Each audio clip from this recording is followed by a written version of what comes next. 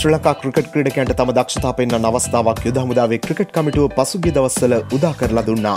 ඒ ආමිකමන්ඩ league cricket තරගාවලියත් එක්ක තරගාවලි අවසන්ලේ චන්දිබාල් නායකත්ව දීපු southern වෝරියස් කණ්ඩෑමට ජයග්‍රහණය ලබාදීලා.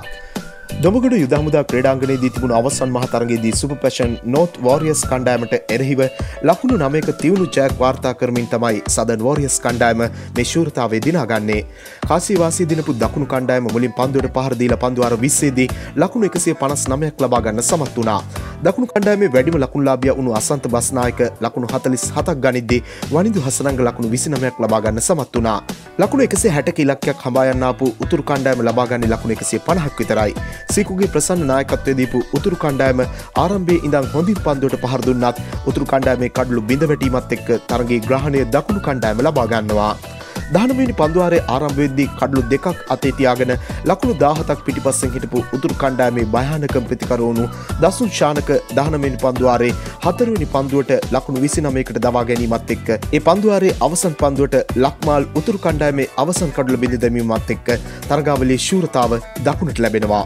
දකුණු කණ්ඩාමේ පන්දයවන්නට හිසරදයක් වුණු සීකුගේ ප්‍රසන්න පන්දු විසිතුනකදී හය පහර පහකුත් හතරේ පහර තුනකුත් එක්ක ලකුණු හතලිස් නමයක් ලබාගත්තත් ඒක කණ්ඩායමේ ජය ජයග්‍රහණයට ප්‍රමාණවත් වනේ නැහැ. තරගවලි තරග හතකදී අර්ධශතක තුනක් එක් ලක්ුණු දෙසි අසු අටක් රැස් කළ දිනිශ් චන්දිමාල් තරගවලි දක්ෂතම් ප්‍රතිකරුවෙද්දි තරගහයකදී කඩලු දොලහක් දවාගත්ත තිස්සර පෙරේරා තරගවලි දක්ෂතම් පන්දිය වන්නවාට පත් වනා. තරගවලි වටිනාම ක්‍රඩකෑට හිමි සම්මානය දිනා ගැනීමට සමත් වනේ සිකුගේ ප්‍රසන්න.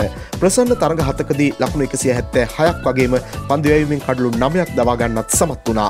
ශ්‍ර ලංකා ක්‍රඩකයෝ ක්‍රිකට් නැතුව හිටපු කාලයක නැවතත් ඔවුන් තරඟකාරී මානසිකත්වයට අරගෙනන්න මේ තරගාවලිය සංවිධානය උන එක නම් ගොඩක් වැදගත් වනා. මෙනි වීඩියෝ දිනපතා බලන්න අපත් සමග එකතුවන්න ඔබ තවමත් අපේ චැනලක සබස්ක්‍රයිබ් කල නැත්තං දැම්මප සබස්ක්‍රයිබ් කරන්නත් ක්‍රිකට්වලට කැමති ඔබේ යහලුකට බලන්න මේ වීඩියකෂයා කරන්නත් අමතක් කරන්න එපා ක්‍රිකට් පිටිය නවම්දේ සපරි තවත් අලුත් වීඩියෝවකින් හමුවනතුරු ක්‍රිකට් ලංකාවෙතින් වාට සුබදවසක්.